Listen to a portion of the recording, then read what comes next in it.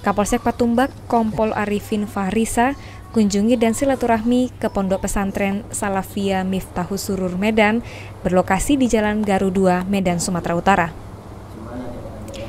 Kunjungan Kapolsek Patumbak ini didampingi Wakapolsek Patumbak AKP Restu beserta Kanit Intel AKP Lumban Batu dan disambut oleh pimpinan Pondok Pesantren Ustadz Sumitra bersama para santri.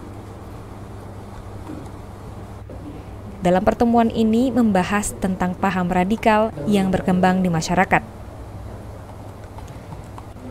Setelah pembicaraan singkat, dilanjutkan dengan pemberian bantuan sembako dari Polsek Patumbak ke para santri dan pemberian buku tentang radikal dari Ustadz Mitra kepada Kapolsek Patumbak.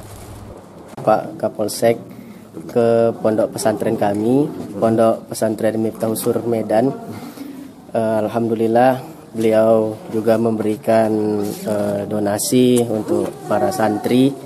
Selain yang penting daripada itu, kunjungan beliau kemari eh, menunjukkan bahwa kalau beliau dekat dengan masyarakat dan tujuan yang lainnya adalah saling berkoordinasi untuk memfilter paham-paham radikal yang saat ini mulai uh, merajalela di masyarakat.